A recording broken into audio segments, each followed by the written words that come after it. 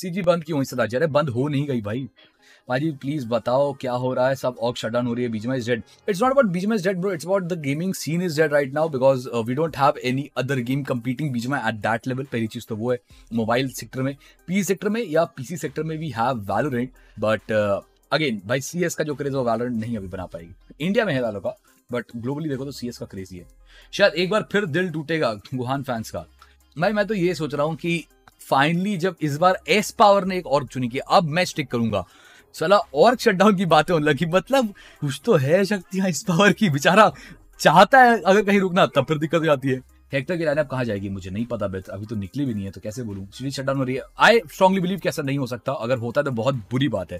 आई saw वो let's grow वाला। बहुत बहुत बुरी बात है। बिकॉज़ सीजी पे अंधा पैसा है। अंधा पैसे उसको कहते हैं। अगर उसके बाद भी दे आर थिंकिंग कि शट डाउन करना दैट मीन्स समझ रहे हो तुम क्या? कि उनको मतलब ये वो वाली बात है कि वैसे तो तुम्हारे घर पे वाईफाई लगा है बट तुम्हें लग रहा है कि तुमने अपना डेटा वेस्ट कर दिया। मतलब इतनी इतनी बुरी बात है ये, सुन, समझ रहे हो? हमारे सीन के लिए, कि सीन किस लेवल पे जा रहा है, कि सीरियसली और को अगर शट डाउन होना पड़े। ऐसे नहीं हो, मैं तो भगवान से प्रे करूँगा, ना ही हो। बट अगर हुआ तो यही एग्जैक्ट पोर्ट्रे कर सकता हूँ मैं। अगर इंडिया की टीम इंडिया से लाया तो मैं ऑलवेज सपोर्ट ही करूँगा।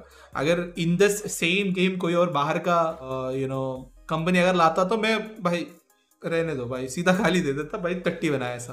बट इंडिया के लिए यार we are still on the rising stage we are still learning we are still doing and धीरे धीरे ही हम चढ़ेंगे, क्योंकि अभी ये शुरुआत है people are interested in making these kind of games right now so which I really like it तो for the start of it in the starting के लिए बहुत अच्छे बने हुए not the best of course but वो कि लोगों को पसंद नहीं आएगा, क्योंकि वो एक रियलिटी जो है, उन लोगों ने बीजेमआई के थ्रू देख चुका है।